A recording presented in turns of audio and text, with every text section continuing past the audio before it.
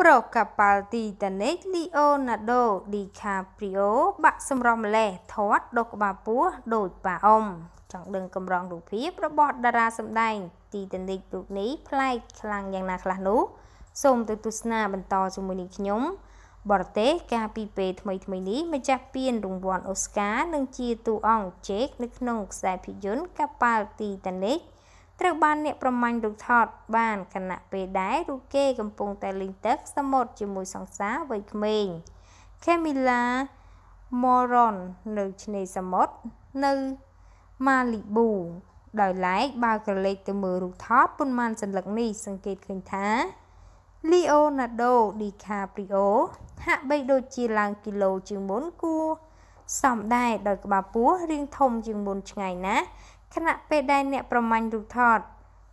លួចថតនៅពេលដែលគាត់ភ្លេចខ្លួនដោយមិនបានត្រៀមខ្លួនភើតពោះឬរៀបរឹកពីអីបន្តិចសោះឡើយ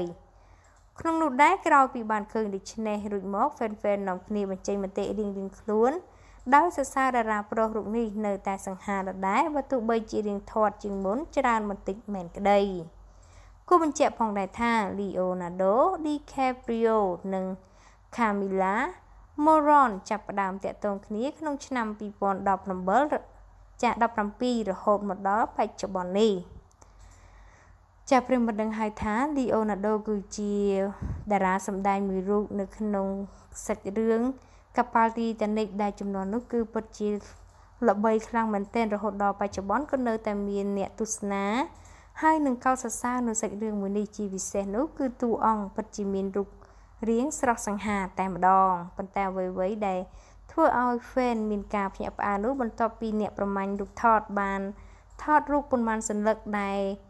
Leonardo បាននាំសង្សាររបស់ខ្លួនទៅលេងសមុទ្រឃើញថាមានសាច់ឈាមនិងដុសក្បាលពោះធំជាងមុនដែលមើលទៅ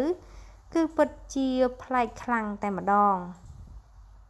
ប៉ុន្តែនៅតែមាន fan fan ជាច្រើន កោតសរសើរអំពីរូបសម្រស់របស់គាត់បើសិនជាមានសាច់ឬក៏ធាត់បន្តិចមែនប៉ុន្តែមុខមាត់នៅតែស្រស់សង្ហាដដែល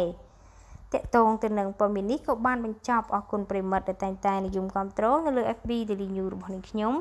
ប្រសិនបើលោកអ្នកចង់បន្តទទួលបានព័ត៌មានថ្មីថ្មីក្តៅក្តៅប្លែកប្លែកហើយទាន់ហេតុការសូមជួយចុច Like Share